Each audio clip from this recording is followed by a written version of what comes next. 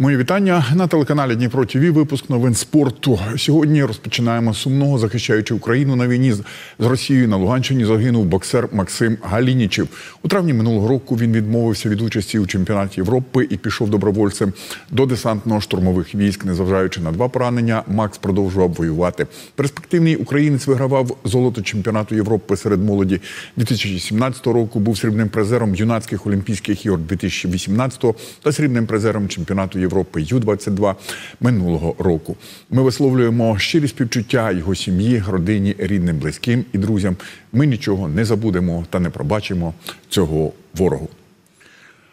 Двоє представників українського спорту стали найбільш популярними серед запитів реєстру держрадників на сайті. Чесно, перше місце посів боксер Василь Ломаченко. Спочатку він хизувався вступом до тероборони на початку повномасштабної війни. Втім, після виїзду за кордон та поновлення кар'єри став робити ганебні вчинки.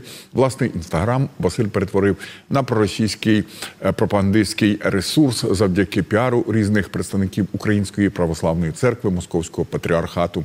Слідом за ним у рейтингу опинився колишній рекордсмен і капітан збірної України з футболу Анатолій Тимощук. З 2017 року він працює у Санкт-Петербурзі у тренерському штабі Зеніту. І з початком повномасштабної війни Тимощук жодного разу не підтримав свою батьківщину. При цьому Анатолій продовжував демонстративно радіти успіхам свого клубу, неначе нічого не відбувається в Україні.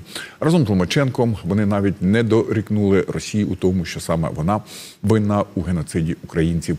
Щодо інших представників топ п'ятірки, то туди увійшли співачка Аня Лурак, діячка культури Тетяна Калиновська та музикант Ілля Сметанін. Депутати Дніпровської міської ради на засіданні 35-ї чергової сесії, що відбулася 22 березня, одноголосно прийняли звернення до дипломатичних місій, представництв міжнародних організацій, розташованих на території України та міст побратимів Дніпра, про недопущення участі російських та білоруських спортсменів в Олімпійських іграх та азіатських іграх. Все кіна вірніше бою не буде. Спочатку з'явилася інформація про те, що Поєдинок за звання абсолютного чемпіона світу у надважкій ваговій категорії з боксу між українцем Олександром Узаком та британцем Тайсоном Ф'юрі не відбудеться. Вони не змогли погодити контракт на об'єднавчий бій, який був запланований на 29 квітня. Раніше Усик погодився на розподіл гонорару 70 на 30 на користь Ф'юрі за перший поєдинок, як того вимагав британець. Потім він наполягав провести бій без е, умови матчу реваншу та став е, та став виставляти гарний перелік речей, які він хотів отримати на свою користь, що були абсолютно неприйнятним і абсолютною неповагою до українця. Усик вже закрив свій тренувальний табір. Очікується, що найближчими днями асоціація WBA змусить його у червні-липні захищати свій пояс проти британця Даніеля Дюбюа. Зрештою, щойно у прямому ефірі на британській і іранській спортивній радіостанції Телкспорт відомий промоутер Френк Ворен та його е, колега з боку українського боксера Олександра Олександр Красюк домовилися повернутися до переговорів та спробувати врятувати бій. Виконувач обов'язків головного тренера збірної України з футболу Руслан Ротань дав прес-конференцію у Лондоні, яка була присвячена початку навчально-тренувального збору національної команди перед поєдинком відбірного турніру Євро 24 з е, Англією, який відбудеться 26 березня в Лондоні на стадіоні Вемблі. Ми повинні бути готові до матчу, і ми повинні бути на 100% мотивовані на цей матч, е, тому що ми граємо. Я рахую, що з командою топ-5 е, да, е, світу. І це дуже гарний суперник. Тому для нас, для нашої країни, дуже важливий цей матч. І ми нам потрібно все відкинути і бути сконцентровані на грі, бути сконцентровані на емоціях. Ті, що я да, сказав чуть раніше, ми повинні дати нашій е, країні е, емоції, які скажімо так, в цей непростий час будуть нашу країну піднімати. Перед поєдинком з Англією у четвер, 23 березня, збірна України проведе спаринг за зачиненими дверима без представників засобів масової інформації та уболівальників з восьмою командою турнірної таблиці англійської прем'єр-ліги Бренфордом. Він розпочнеться о 19-й годині за київським часом і і відбудеться на одному з полів тренувальної бази клубу, де зараз тренуються синьо-жовті, або ж на домашньому стадіоні Бренфорда.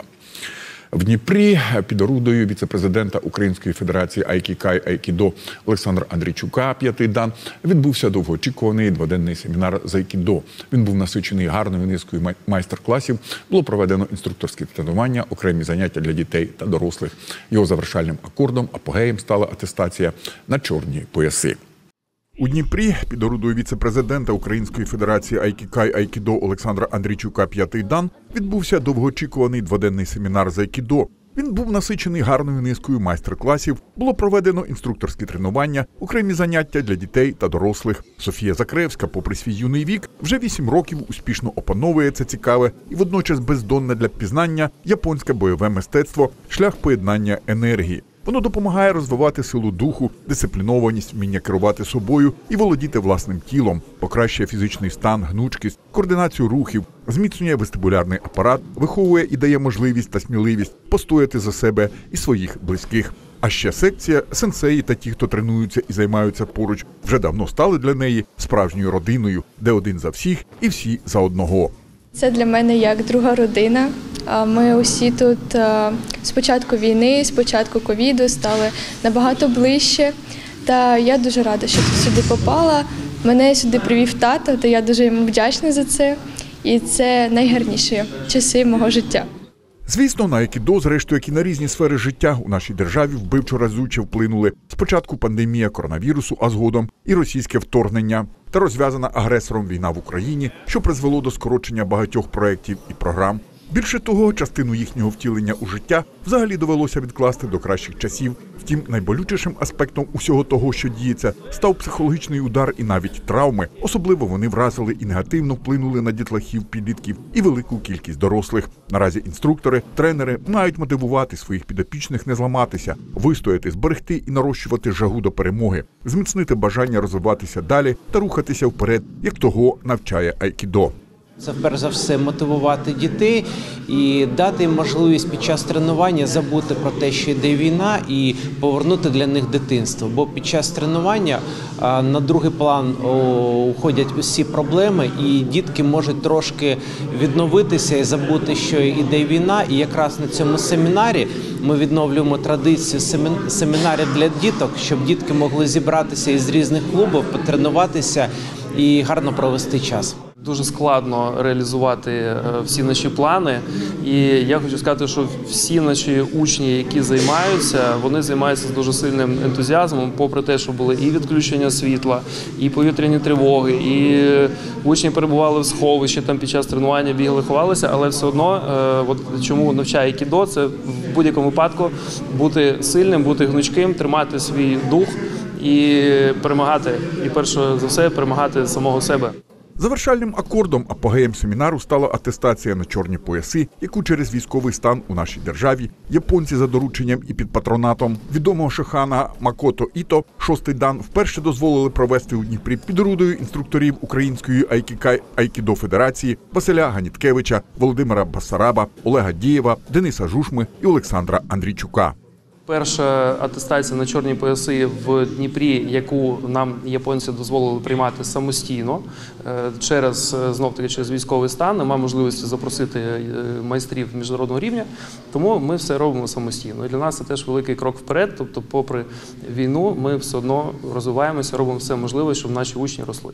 За підсумками складених іспитів, володарями чорного поясу першого дану айкідо Айкікай стали Кирило Маркін, Тезки Олександр Кривопуск і Айвар Джі та Ярослав Вінц. Другий дан отримав Богдан Хотинець, третього удостоєні Анастасія Кова, Борис Гітельман і Юрій Мороз. Далі буде, як і Україна, і перемога за нею.